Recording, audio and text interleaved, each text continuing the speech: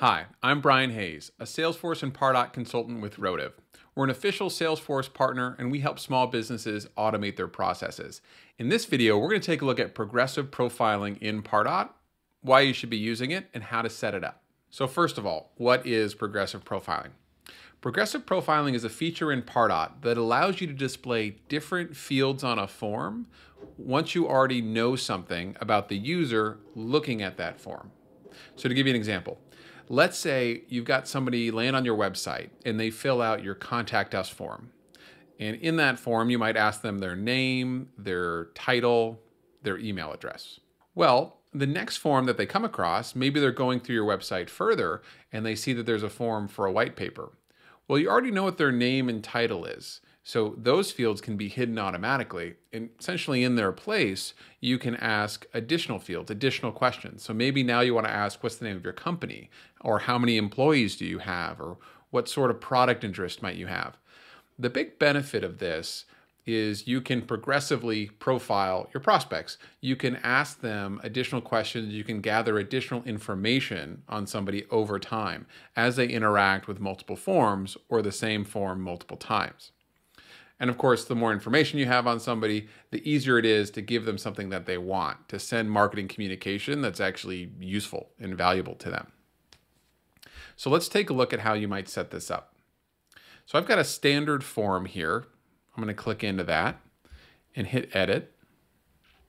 And when you go to the uh, number two, the fields section in building out this form, you can set up progressive profiling on each of these fields. So we've got first name, last name, email, company. You know, let's add another field here. Let's say we also want to know what their title is. So here it is, job title. So I'm going to add this field. I'm not going to make it required. And then there's a tab in this field configuration screen called progressive. If you click on that, this is where you can enable it as a progressive field to be used in progressive profiling. If you check this box, you can then determine what piece of data do you want to already have in the database before you show them this field. So in this case, let's just say we want to know what their company is first. Once we've got their company, then we're going to show them the job title question. So this looks pretty good. Let's hit save. Now we could we could do this, you know, in additional steps. So let's say we want to ask another question. Let's go with years in business. So I'm going to uncheck the required box here again. Uh, we're going to just set the data format to number there. Let's click on progressive again.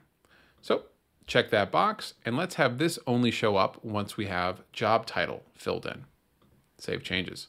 So here we really have two levels of progressive profiling on just this one form. So if they filled this out before or we already have their job title in Salesforce, it's going to ask them years in business. And if we don't have their company yet, it's not going to ask them for a job title. Now we could even get more advanced than this. Maybe we only want years in business to show up with additional fields being filled out.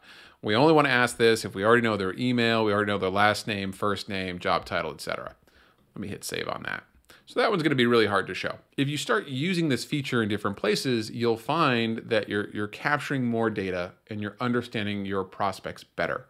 The reason not to just add all these fields on one form is because every field that you add to a form decreases the conversion rate.